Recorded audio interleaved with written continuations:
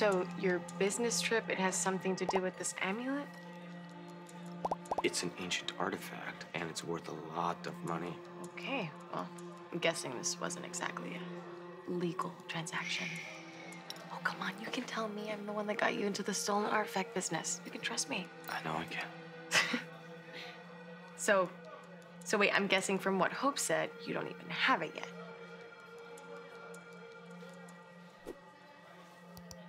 You do have it.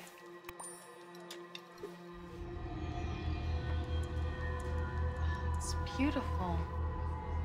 Okay, now tell me about the curse. Legend goes that whoever possesses the amulet will be cursed with terrible luck. That's just a superstition, but it's enough to spook my entire security team. Andre. Andre believes in the curse? Yeah, it's ridiculous.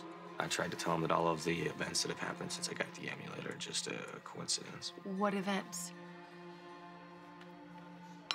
Abigail filed for divorce. The, um, the jet with the engine problems. It's bad timing. Chad, you need to get rid of that amulet right now.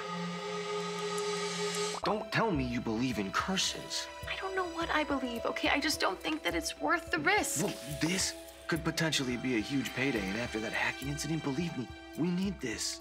We'll sell it then. Get rid of it before Sell- you leave Greece. It's not that easy to find a buyer.